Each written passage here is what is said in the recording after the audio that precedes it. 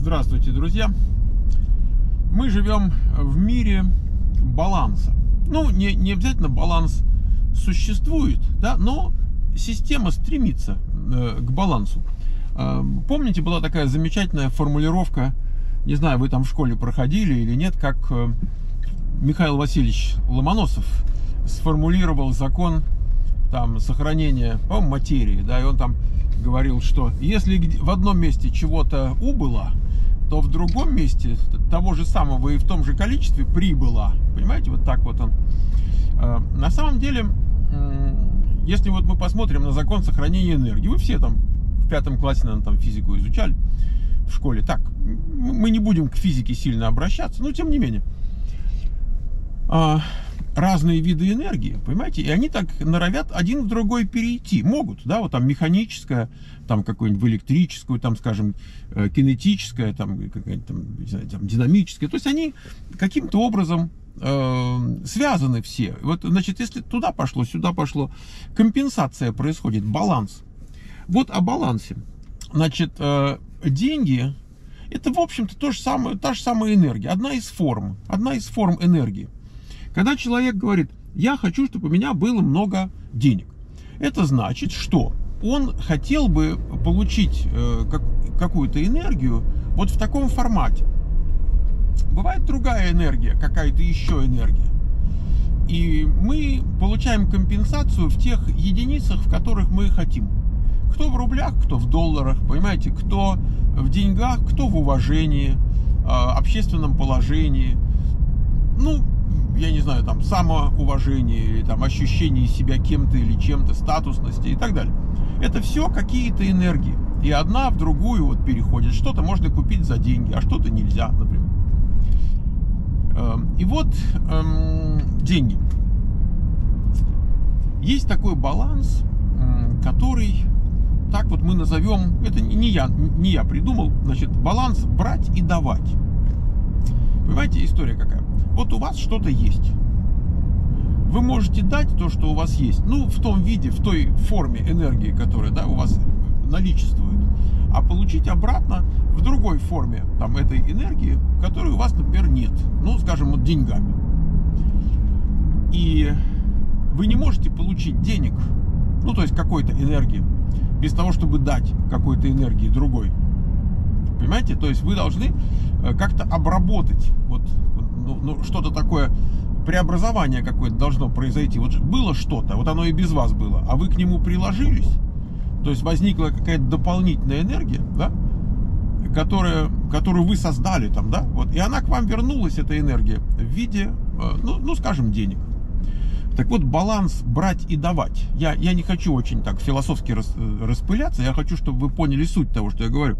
Она простая есть баланс брать и давать. Вы не можете брать, брать, брать, брать, брать и получать, получать, получать и ничего не давать. Так не бывает. Есть невероятное количество людей, которые э, норовят оптимизировать свою жизнь на основе того, чтобы вот получить максимум на нулевое, так сказать, вложение. Да, вот ничего не делать. И действительно в жизни, э, в современной, например, да, люди не умирают там э, на улице от голода или болезни. Их подлечат, их накормят, там куда-нибудь поселят и так далее. То есть как-то так вот, ну, во всяком случае, в США есть такая структура социальная, да, и в Европе, там, и в Канаде, где угодно. В развитых странах есть. Поэтому вроде бы он ничего не давал, а, а что-то получает. А еще, знаете, так, нелегально так он раз так подпольно никому не докладывает, а тут подработал, там подработал, там пару тысяч в месяц подработал, да плюс еще получил, там, да, значит, жильем каким-то там субсидированным, там, фудстемпами, я не знаю, там, талонами на питание, медицины бесплатной, вроде столько нахапал, еще, еще там подработал незаметно.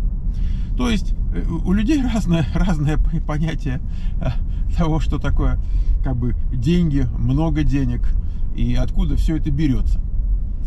Так вот, эм, люди, которые пытаются идти по пути, получить что-то, не давая ничего, или давая там в 10 раз, 20 раз, 50 раз меньше, эти люди обречены. Это все равно, что вот, допустим, там перпетум мобили, да, вот это вот вечный двигатель создавать. Сам по себе генерит энергию. Ты не можешь сам по себе ее получить. Ты должен что-то дать туда, может быть, другую энергию. Энергию ветра, энергию там, я не знаю, вот речки, которая течет, или там морского течения, солнца. Но, но понимаете, вот одна энергия, да, она становится там электрической, ну, пожалуйста, да, или там наоборот крутит мельницу, там механическая какая-то энергия. То же самое, то же самое происходит с деньгами. Вот есть мир вокруг вас. Значит, вы что-то в мир дали и что-то получили.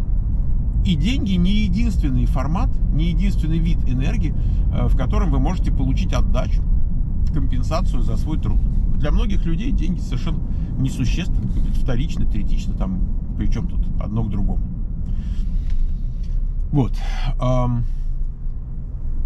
Значит, первый вывод, который я хотел бы, чтобы у вас осел хорошо в голове, я только что сказал, вы не можете ничего получить, ничего не давая. Первое. Второе. Есть люди, которые они как бы пытаются расчет такой вести. Вот я вот тут дал вот настолько, а ты мне вот там дал, вот, а, а, а, дай мне вот на, на, настолько. Это не ходит, вот пытаются вот эту такую бухгалтерскую такую работу проводить мелкую. Это логика человека, живущего на зарплату и работ, ну, получающего зарплату. Это не логика человека, который создает что-то большое, за что ему придет потом много денег. Это логика человека маленького, который говорит, вот я тут 8 часов отработал, а мне дали там 3000 долларов. Пойду-ка я поищу другую работу, может быть там будет 3200. А потом через годик там чему-то такое, пойду, мне тут 3500. Понимаете, и глядишь, он там за 10 лет с 3000 дорастет там до 400, до 4200. И он будет думать, что он как бы сильно вырос. Там, кстати, да, как вырос человек.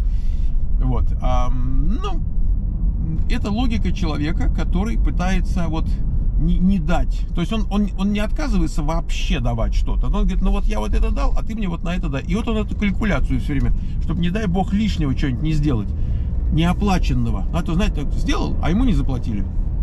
Вот. А человек, который идет на большую задачу, которая дает в мир много чего, которая приносит ему обратно из мира много чего, этот человек не занимается вот этой вот э, калькуляцией э, мелкой. Он отдает по максимуму.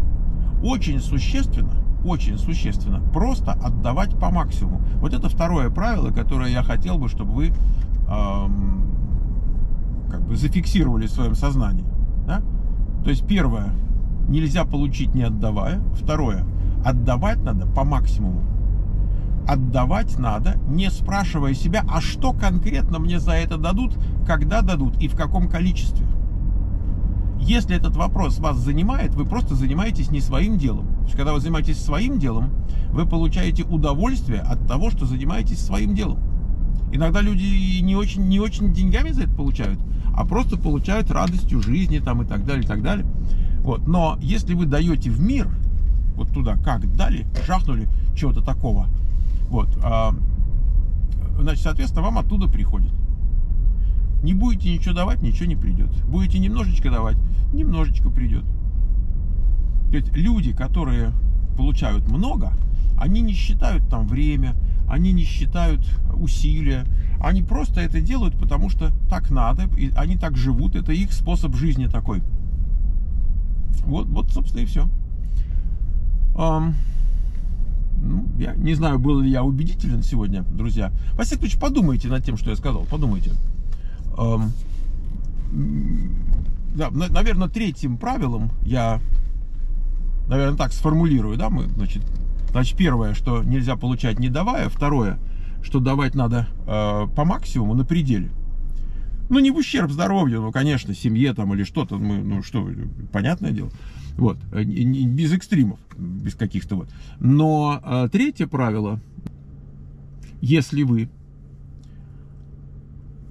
не отдаете по полной и, э, и, и так, чтобы иметь с этого удовольствие и так далее, а вот вам кажется, ну, вы начинаете считать, пересчитывать, подсчитывать и так далее, вместо того, чтобы радоваться возможности отдавать по полной, вы занимаетесь, скорее всего, совершенно не своим делом. Вам надо искать другое дело. Вот так бы я сказал.